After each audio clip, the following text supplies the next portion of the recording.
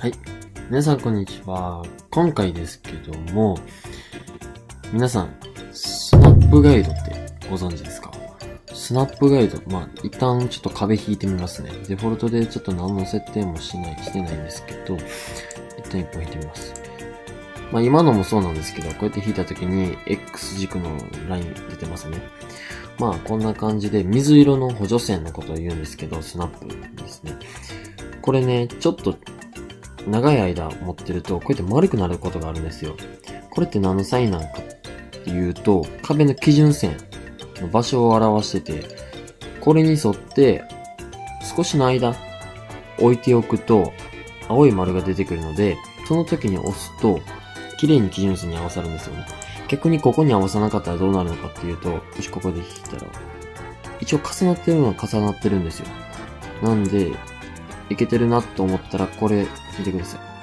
こいつとこいつで分離しちゃってますよね。3D で見た場合、で、こっち側綺麗にひっついてるのに対して、こっち側は、ちょっと変なくぼみが出ちゃってます。これこれでいいやんと思う方もいるかもしれないですけど、ここが、こことここはまず合ってないので、そもそも壁として成立しない状況になります。これはいけないので、このスナップっていうのを使いまして、こっちも同じです。こうです。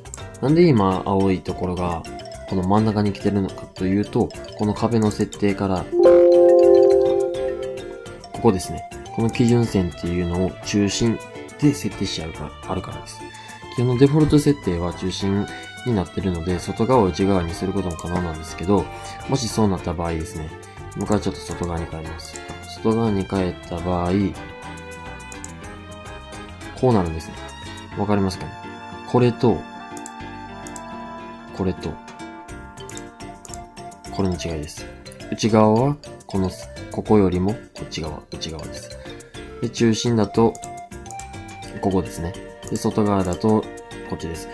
まあ大体これ感覚で分かっていただけるかなと思うんですけど、実際引いた、まあこんな感じになりますね。で、これ外側の場合、外側と中心やったらどうなんねってなったら、外側なんでこっち側がガイドになってるスナップ引かれてるんでこっちになります。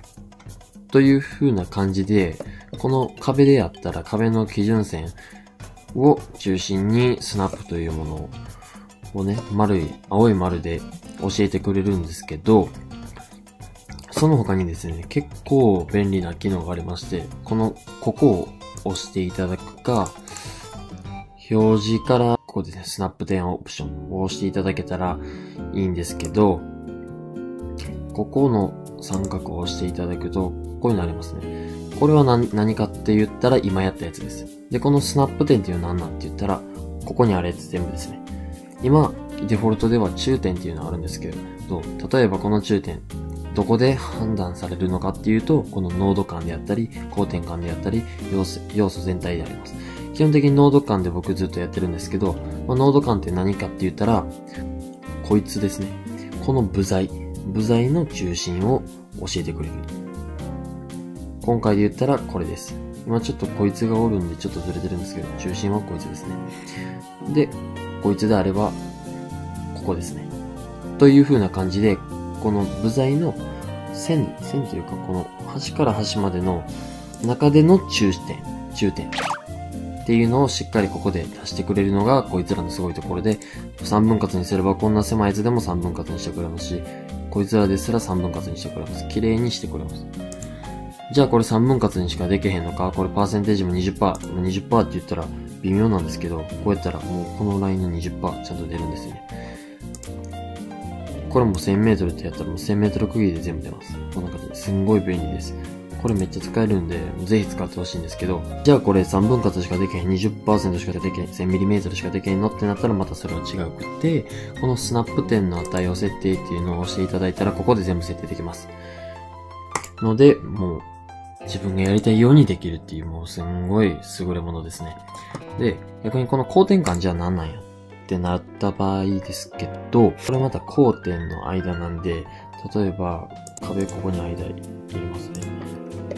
さっきのままだと、じゃこいつの中点どこやねんってなったら、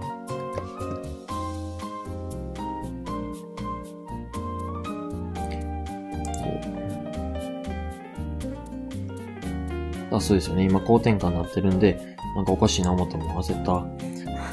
濃度感、さっきのデフォルトの設定のままだったら、ここですよね。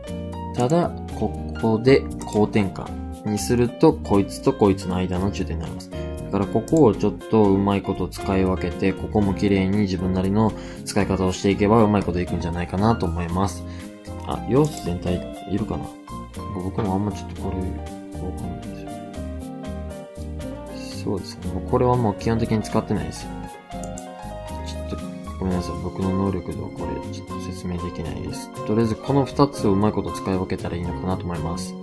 皆さんもこれを使いこなして、秋けど快適に過ごしていきましょう。それでは今回の動画は終わりになります。ありがとうございました。